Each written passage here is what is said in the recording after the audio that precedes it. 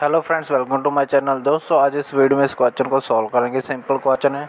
तो एक बार क्वेश्चन को पढ़ लेते हैं। क्वेश्चन क्या है? A game of the football with 11 player lasts for exactly 80 minutes there are four substitute that alternate equally if each player plays for the same length of time but is the duration तो यहाँ पे दोस्तों अगर ये बोल रहे हैं कि चार सब्सिट्यूट है, चारों के चारों खेलेंगे, लेकिन चारों के चारों बराबर टाइम खेलेंगे और अल्टरनेट होते रहेंगे, एक दूसरे को रिलीव करते रहेंगे।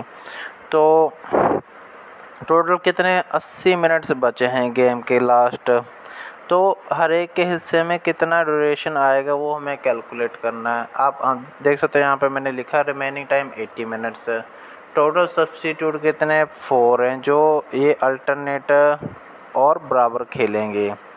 ठीक है, और ड्यूरेशन ऑफ़ वन प्लेयर एक प्लेयर का कितना ड्यूरेशन हो जाएगा? जब चार प्लेयर है, चारों बराबर खेलेंगे, अस्सी मिनट्स हैं। तो अस्सी को डिवाइड कर देते हैं फोर से तो बचते हैं बीस। तो सिंपल क्वेश्चन है दोस्तों, एक प्लेयर के खाते में बीस मिनट्स आएँगे खेलने के लिए। तो उम्मीद है समझ आ गया होगा। सिंपल था जस्ट ऐसी कॉम्प्लिकेटेड सा बना रखा है। इन्होंने वीडियो देखने के लिए धन्यवाद। जय हिंद।